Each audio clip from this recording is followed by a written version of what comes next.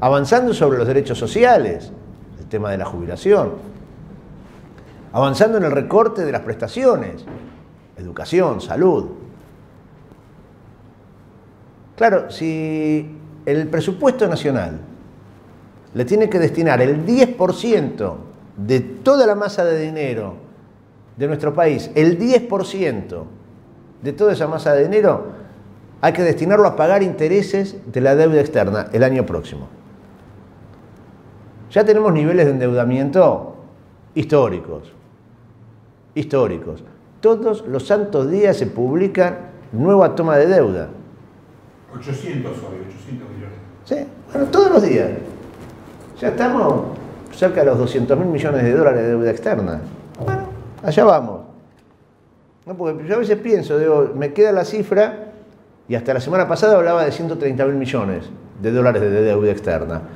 Y claro, uno se queda con esa cifra y todos los días toman deuda. Ya vamos por 200 mil millones de dólares. ¿Tiene idea? ¿Se puede representar 200 mil millones de dólares? ¿Cuánto es? No existe, es un número que no existe, ¿no es cierto?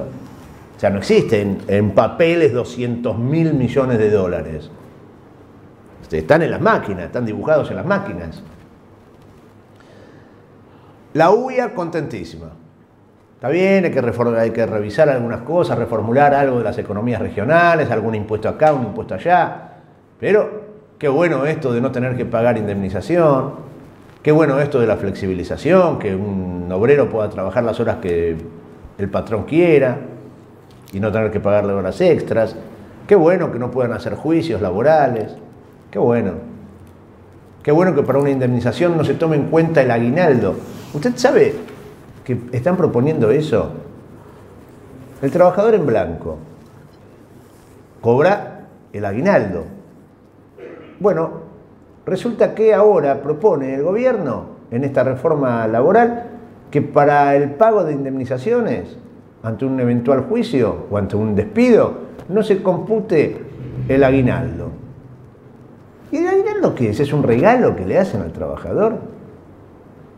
¿Cómo se llama el aguinaldo de verdad? ¿Se llama aguinaldo? No, no se llama aguinaldo. Se llama sueldo anual complementario. ¿Y por qué es un sueldo anual complementario? Porque en realidad el trabajador trabaja más cantidad de días que si se toma el trabajo mes a mes. Entonces, como se trabajan más horas que las mensualizadas, al cabo del año tiene que recibir esa retribución. ¿Por qué eso no es salario? ¿Quién le dijo que era un regalo, una dádiva del empresario? ¿De dónde sacaron que el sueldo anual complementario no tiene que ingresar en una indemnización? Bueno, cosas como esta, montones. Para la UIA está fenómeno. Para el movimiento obrero no está tan bueno, aparentemente. En el día de ayer comenzaron a circular ayer y antes de ayer una cantidad de, informaciones en las redes sociales que hablaban de un apoyo de la CGT. Bueno, la realidad es que la CGT mañana anticipó va a plantear su desacuerdo con la reforma laboral. Eh, las declaraciones contra los cambios eh, que han hecho hasta ahora los distintos eh, referentes, distintos representantes gremiales, van a dejar paso a una declaración institucional conjunta de la CGT contra la reforma laboral.